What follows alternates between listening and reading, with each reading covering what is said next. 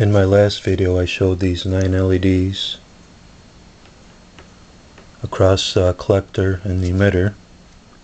In this video I'm going to try to cross or from this side of the diode, in between the diode and the trigger coil, to the collector. Then I'm going to try to cross the trigger coil back to the base and then back to the emitter.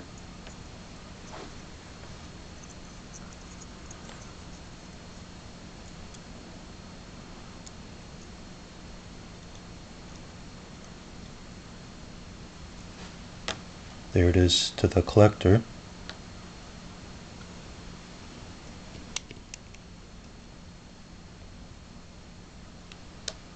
There it is to the base.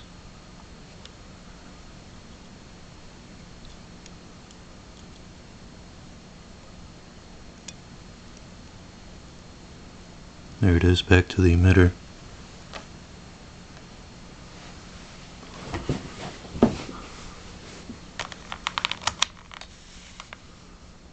And then the voltage on the LEDs.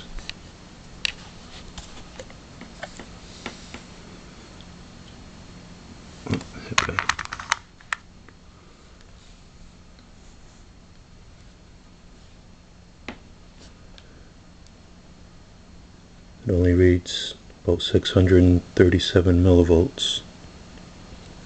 And I also have another diode coming off the collector here. That one reads 96 volts. I don't know why the voltage across the LEDs is so low and they're so bright.